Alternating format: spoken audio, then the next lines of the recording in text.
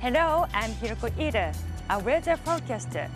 I'm here now at Tokyo Bay. Did you know that there are 20 floodgates in this area? They are protecting the megacity of Tokyo from storm surges. They are designed to withstand storm surges of up to 4 meters. But if global warming continues at its present pace, there's a possibility that even these floodgates won't be able to protect Tokyo. According to a UN report, world scientists say that by 2100, sea levels could rise up to 82 centimeters. Other researchers have also shown that ice in Antarctica and Greenland is rapidly melting. It's possible that by 2050, sea levels could rise by 60 centimeters. You may think it's not so much, but even it could threaten our lives. Hurricane Sandy and Super Typhoon Haiyan taught us an important lesson. A sea level rise of only dozens of centimeters can greatly increase the power of a storm surge. Tokyo Bay demands some special attention.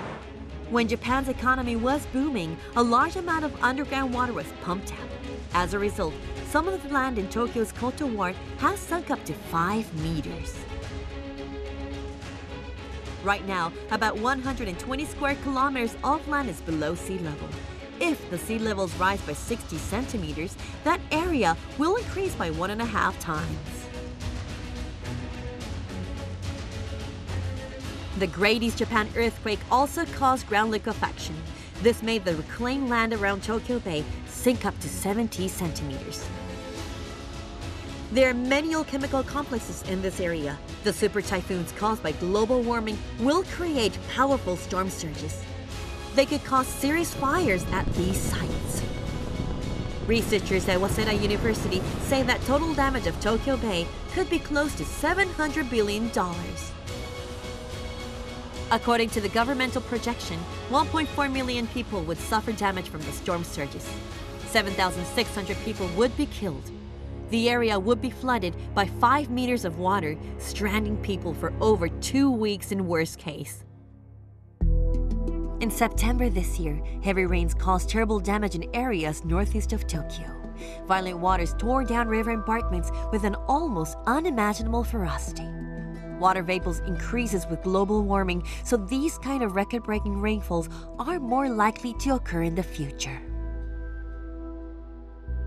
The storm surges that are followed as destructive as tsunamis and could cause unprecedented flooding.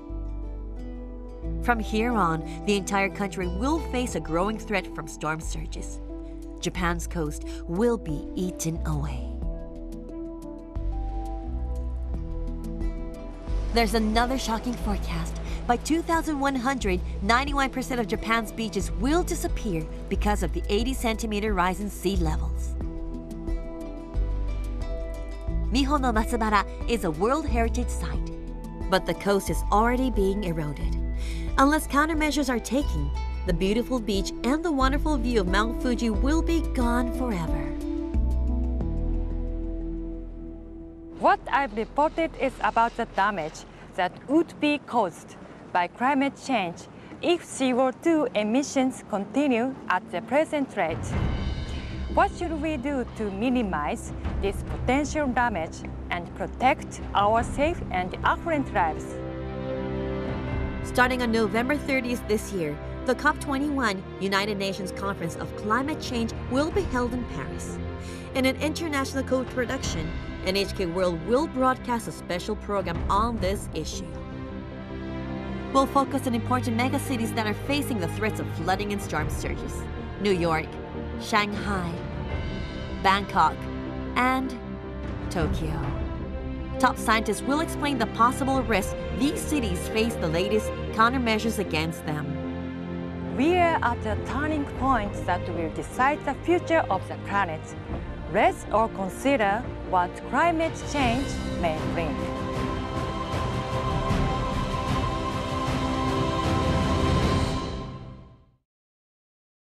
UNESCO World Heritage Sites provide testimony to evolutions in our climate and our societies. They are milestones in human history, and some of them are already deeply affected by the negative impact of climate change. This challenge is not unsurmountable. Across the world, women and men are designing new sustainable practices and sharing knowledge to better manage sites and resources.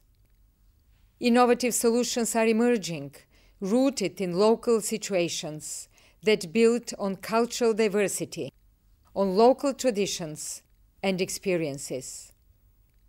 This diversity is humanity's ultimate renewable energy, and I'm convinced we must make the most of it to invent new approaches to development. World Heritage shows what we can achieve when we join forces for an ideal. Each of us has a role to play in combating climate change to transmit to future generations the heritage we hold in common.